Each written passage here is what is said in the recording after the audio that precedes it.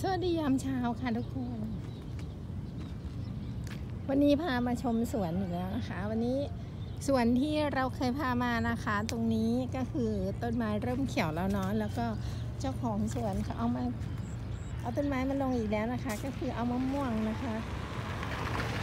มาลงพื้นที่อีกแล้ว วันนี้เราก็มากับแครอทคือจริงๆอะมาทุกวันนะคะ ตรงนี้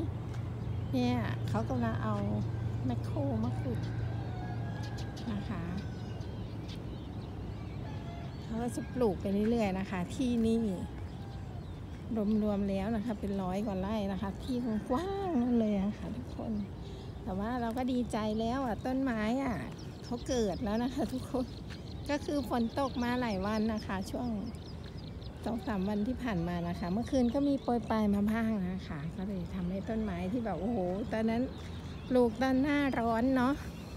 ที่ร้อนจัดๆอะ เราก็โหยจะไหวไหมแต่เขาก็เอาคนมารถอยู่นะแต่ก็ถือว่าเจ้าของก็ใจดีอยู่นะคะ เจ้าของแบบว่า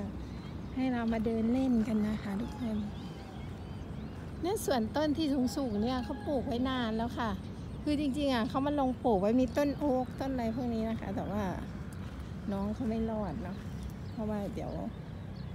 พอแบบหน้าแรงก็ไม่ค่อยมีคนมารดน้ำนะคะ แต่ว่าต้นนี้ต้น ต้นสูงๆเนี่ยเขาอยู่ได้นะคะไม่รู้ว่าต้นอะไรเหมือนกันทุกคน นี่อันนี้มะม่วง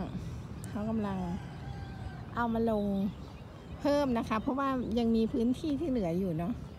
ข้างในในน่าจะเป็นมีต้นยางนงยางนาด้วยนะคะ ทุกคนแต่ว่ามันไกลแหละแอดมิน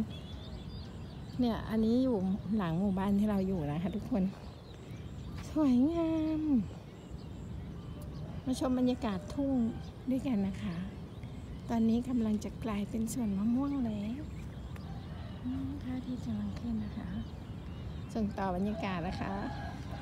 ธรรมชาติให้กับทุกคนได้รับชมนะคะ เท่านี้นะคะ ยังไงมาเจอกันใหม่นะคะ ขอบคุณค่ะ สวัสดีค่ะโอ้นี่ดูต้นนี้กำลังปลูกลงไปเมื่อวานนี้